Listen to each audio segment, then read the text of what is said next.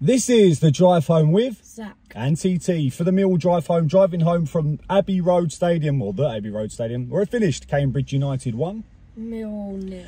Mill nil. A game uh, we would like to instantly forget. If it could have gone worse, I would have liked to have found out why.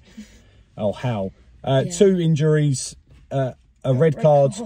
for Honeyman as well. Not a very good uh, performance from us. Nope. Not a very good performance from Cambridge United. They scored their only shot on target. Um, probably one of the worst refereeing performances you're going to see for a long time. But what's new? Again Yeah. for us. And when you add all that together, we find ourselves out of the Carabao Cup. Thank you very much for the support you gave us for Saturday. It's typical Millwall. The ups and the downs. However, this is a cup that coaster. yeah, it'd probably be better that we're we're out of. The, the disappointment was that we're out in the manner that we're out because we just didn't create enough. Um, and the chances that we did have fell for to one player and ultimately did not take them. yeah. Um, we started with uh, many changes. George Long in goal, a back three of uh, Charlie Cresswell, or CC as I'm going to call him. CC. Um, Charlie C. Chazza C. Uh, Charlie Cresswell, who you had a great moment with, um, that obviously went around social media. Uh, Shaun Hutchinson returned, and um, Murray Wallace. Who was with Murray Wallace? Um, Leonard. Yeah, so Leonard was right wing back. Yeah. Left wing back was I think Danny Mack was left wing back.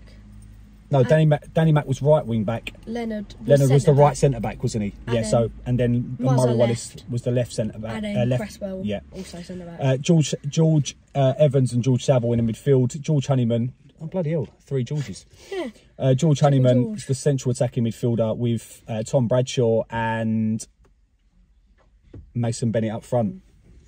First minute of the game, ball falls to Bradshaw, who blazes the ball over the bar and screws his groin. It looked like so that's him gone, gone off, and uh, Isaac Olaofe came on, or Tance, as his nickname is. Um, we created very little in the first half. A great corner from, um, I think it was Honeyman, over to Ryan Leonard at the far post, who somehow manages to miss Oh the target. God. He, I think he was outside the box, but it was a solid three meters wide when he had a, a free. Yeah, it was just it wasn't good enough. Um, and then Honeyman got booked for a silly foul. He had to, to probably do it. You know, they, they they were through on goal, and, and Honeyman's well, not through on goal, He's but dragged him back. he's dragged him back and, and picked up a yellow card that would have proved that proved to be costly. We come out in the second half. Um, actually, the better team. Uh, Olaofe creates a good chance. He gets played in. He's got bundles of pace. Blazes the ball into the side netting when he probably should have gone Oh, across yeah. goal. Um, and then you know from nothing, Cambridge United break down the right, cuts it back. It's a good finish. But I think it's O'Neill on the edge of the box, puts it into the bottom left hand corner. Like I said, literally their only shot on target. Um, they did have one chance when we were chasing the game, but they didn't create absolutely anything other than that. Nope. Um, George Long didn't need to make any sort of contribution. No, but they, the play, they played the ball around quite nicely at times. Yeah. Um, we then have a, a cracking chance, a defensive mishap at the back. I think it was passed, and then they didn't expect it to come, so and then hit it was him. backhilled. Yeah, hit him, and something. then uh, Olaofe's one on one with the goalkeeper who's got to score. And he t- he takes one touch too far because th- then the goalkeeper will close down the angle. Whereas, as a striker, you're running for on goal. You need to take that second just to think, take a shot. Otherwise, the keeper's going to come and grab me. um, and he, the keeper's on him and he, and he hits it at the goalkeeper. And then straight after, sorry, before that, straight after the goal that they scored, couldn't have been worse timing. Um, George Honeyman is fouled. Literally, he, the, the, the um, Cambridge United player white, tries to wipe him out. He, he gets over the challenge, but he loses the ball, falls to one of their players. Um, And then he- I think he and then he the yeah, and then he does the same thing and holds on to the player, but he, he was fouled leading up to it. There was no, like literally sec- a second beforehand. And there's no there's no advantage to Honeyman because obviously he loses the ball, brings the player down a second yellow, and he's off.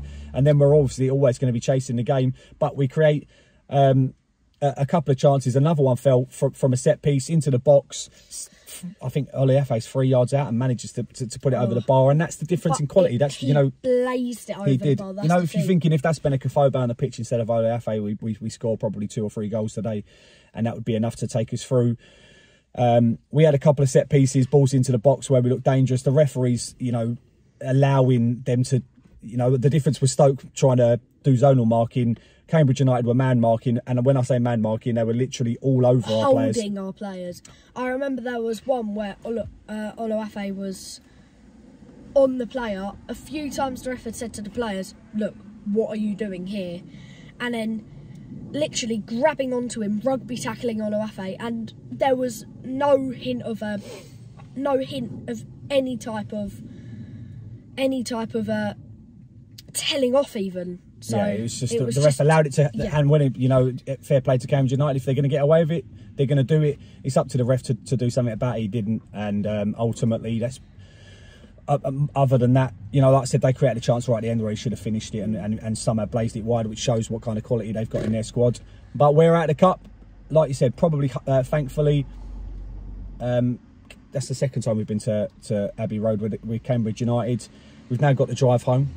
Um, and forty minutes, I think. and then up to Sheffield United. Like I said, we're going to Sheffield United. Tom Bradshaw's out injured, uh, likely to be injured. Zian Flemming was was wasn't playing, and now George Honeyman's going to be suspended. That's not looking. It's not boding well for Sheffield United. But we'll give it our best. It's a different different atmosphere, different thing. And obviously, Jake Cooper's the number one striker against Sheffield United. They'll have to put three men on him Yeah. at corners. Yeah, the other day with uh, Cresswell, I did say they had to put two Yeah. defenders on him, and then they didn't, and then he scored. So, Yeah, so three, three three men on Cooper, he may score. So Yeah, um, but we'll go up there and see, see how it goes.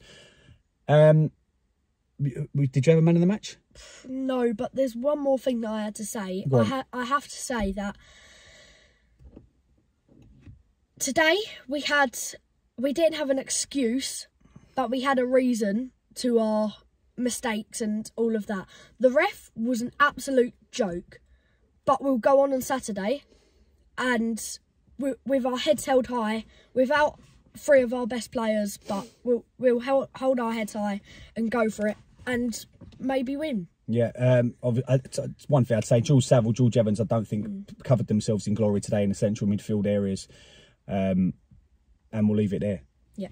Yeah. So we'll bring back Billy and Shacks for the for the game at Sheffield United. Yeah, hopefully. Thank you very much for watching the Mill Drive Home. We really appreciate your support. Love the comments. You know the likes were amazing on the last. Obviously, um, you some some fantastic comments, and we, like I said, we really do appreciate it. Only one way we can end it. No one likes us. We don't care.